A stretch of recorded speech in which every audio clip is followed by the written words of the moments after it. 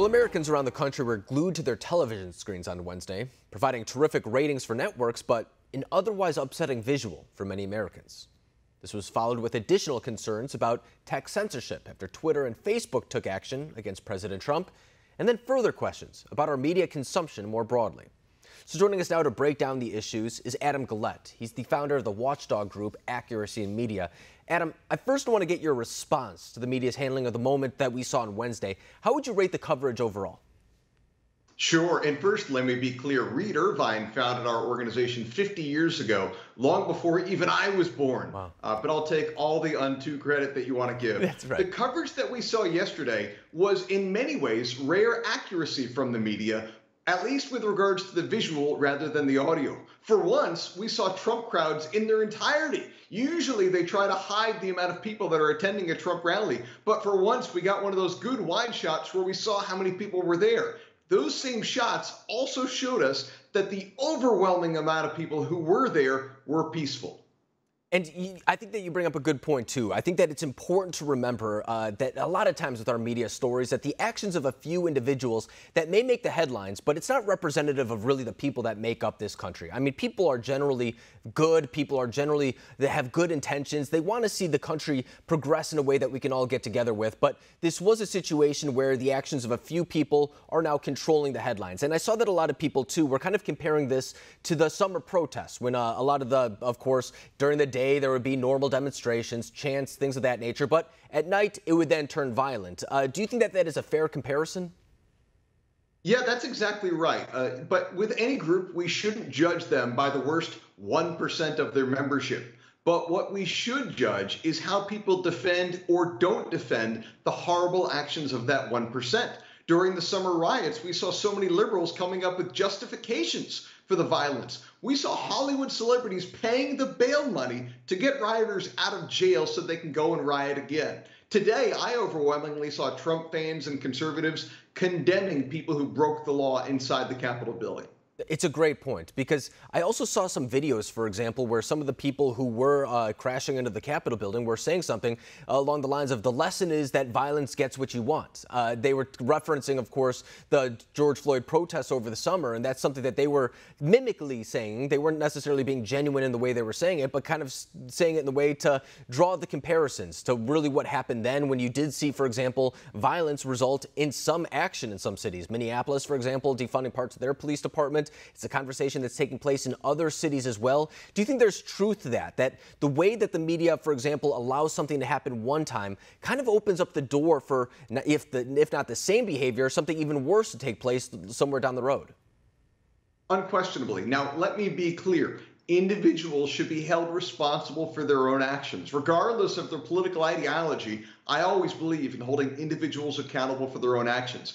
That being said, the media unquestionably normalized violence this year. We saw fiery but peaceful protests that weren't actually riots. Well, when that happens again and again, you're going to get some folks who take that to the next level and say, well, if the other side can do it, I should too. Now, we should never stoop to their level, nor should we stoop to the level of outrage that the media has had. The media for years celebrated Bill Ayers from The Weatherman, who set off a bomb in the Capitol building. Where was that yesterday? Why didn't I hear the media saying a word about a man who mentored Obama, where Obama kicked off his campaign, set off a bomb in the Capitol? That didn't outrage the media, but some folks with Trump flags somehow did.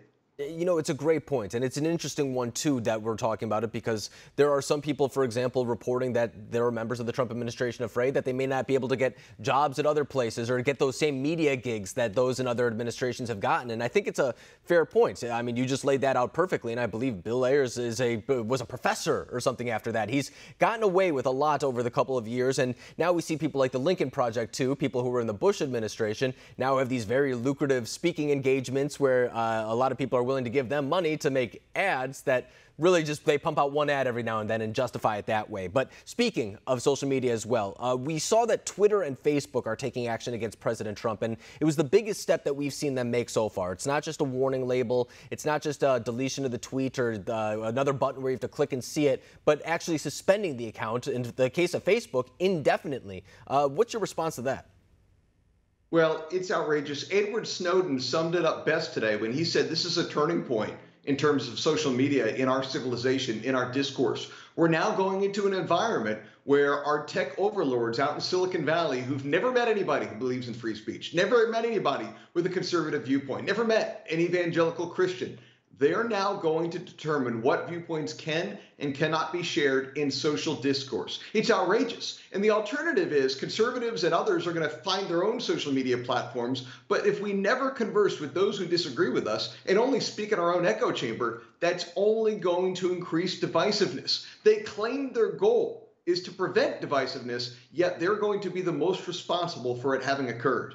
It's such an important point because I don't think that a lot of people understand that when you take someone off of Twitter, for example, you are forcing them into another echo chamber, as you just laid out. And I think that is a big problem that we have right now is that we don't have the common square for debate. We don't, uh, I mean, we, for example, uh, right before the election, a lot of people were asking uh, Democrats in swing states if they ever saw the Hunter Biden story, and those on the left said they never even heard of it before. Now, that's one thing that a lot of people could politicize, but what happens when we're talking about a set fact pattern? That uh, you and I can have debates on, for example. We don't have that right now, and I think that is pushing people out to the fringes. So, really, what does this come from? Does it come from the idea that people don't have faith in the typical media outlets, so they are looking for something else, or is there something else there? Well, I, you know, it's hard to say, but it's a tremendously dangerous environment we're headed towards. We're basically back in the yellow journalism age where they created salacious headlines because they know that newsboys could sell those papers much more than a newspaper that didn't have a salacious headline. So we get inaccurate news simply for the sake of clicks, and each audience is fragmented where conservatives listen to some outlets, leftists listen to other outlets, and we have an entirely different worldview of what's occurring in society. And now, with the way Twitter and Facebook are handling things, we won't even be seeing those opposing viewpoints because some will be blocked and some conservatives will probably head to other platforms. It's tremendously dangerous for our society. And Adam, just to take that even a step further, I'm seeing right now that uh, the book publisher Simon & Schuster is saying that they will no longer be publishing Senator Josh Hawley's book based on his objection to the Electoral College yesterday. So, I mean, we're talking about things that are happening online. This is quite literally an example of a modern day book burning, if you will. I mean, there are books far worse than I'm sure that anything Josh Hawley is being put out there that are being put to publication. But once again, this seems like an instance where political affiliation is coming into play where it really shouldn't. I mean, we were talking about the freedom of thought thought, the freedom of expression. I want to see the input of people that I disagree with. I think that makes your conversations better. It opens up your eyes sometimes to things that you haven't seen before. So I fear that that is the route that we're going down. Exactly what you're talking right now about echo chambers. And we now know that uh, Joe Biden, for example, he got his electoral college vote certified yesterday. He will be inaugurated on January 20th. Do you fear that the media won't handle that in the same way that it'll become an echo chamber of just what Joe Biden and his supporters think? Well, we know quite well that the media is going to love Joe Biden and they're going to do their best to keep Trump around just so they can have a, bit, a villain in their story. That'll ultimately change if Biden isn't sufficiently progressive for them, or if Biden appears to have a primary challenger who might come up against him. Only then will you see the media go in a different direction. Until then, we're going to see stories of Biden healing the nation, bringing us all together, and conservatives and conservative Democrats like Joe Manchin should just get out of the way and follow along with the progressives. That's what they'd like us all to do. They're activists, they're not journalists. No, and you know, I think that it's very troubling for the industry more broadly. I mean, right now we're in this political atmosphere where people uh, either want to make it pro Trump, anti Trump, anything like that. But there's a reason why people are searching out for other social media platforms or other news outlets, things of that nature. And it's because there's an underlying distrust in our media institutions. And I think that is very, very problematic. But before we let you go, too, what about President Trump? I mean, there's speculation that he might be getting involved in the media in some way, anything like that. Uh, of course, it's too early to say. Uh, there's no early indicator, but do you think that's a plausible thing that could happen post the pr- Trump presidency? Trump is absolutely not going anywhere. I think that's the biggest reason he kept up this fight over the fraud, even when it was clear that he had no reasonable path to the presidency. A president who's defeated, rightly or wrongly, well, his supporters peel off the bumper sticker the day after the election. Yeah. And Trump knows amongst anybody that people like winners, they don't like losers. Well, if they don't like losers and you're not a winner, the next best thing you could be is someone who was wronged. So he's going to keep con- con- contending that. He's going to keep pointing to the irregularities and the potential voter fraud that occurred in all of the swing states. And he's going to keep his base fired up because he clearly has the next move in mind. I think you're exactly right. And I think that's why we saw a lot of big name senators really join that effort towards the end because they know how far a Trump endorsement could really go for these people who may be wanting to run for office in 2024, such as a Ted Cruz, such as a Josh Hawley. So I think you're right on to say that. I don't think that we're going to see uh, any less of President Trump over the next four years. But Adam Guillette, the president of Accuracy in Media, not the founder, I don't want to date you too much. Thank you very much for joining us tonight. Thank you always for having me.